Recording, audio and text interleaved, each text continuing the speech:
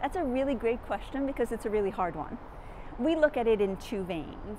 One is the supply chain, particularly for software, and the second is trust and who and what you trust. So let's talk about the supply chain for software Wyatt. So on that side, any software that you're using, it's wise that you require the software provider to tell you, to give you the output of their own QA processes. How have they checked the software?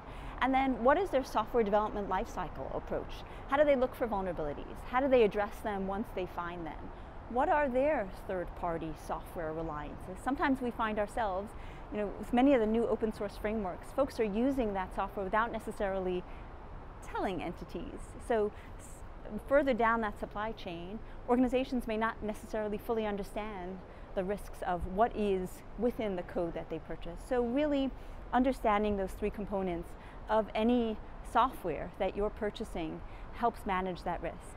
You know, what we've discovered is that organizations that have a bug bounty program usually have done some of the internal work to feel confident that they've identified the easiest found bugs. That's another way to give a quick check with regard to a software provider and how their supply chain looks. From a trust perspective, really understanding where your core data that you most rely on is, and then minimizing the trust you give to what's really needed to complete a mission. We've seen those trust relationships or trust access being leveraged by adversaries to gain access through some third-party relationships that, or access or remote management that enterprises didn't even know existed.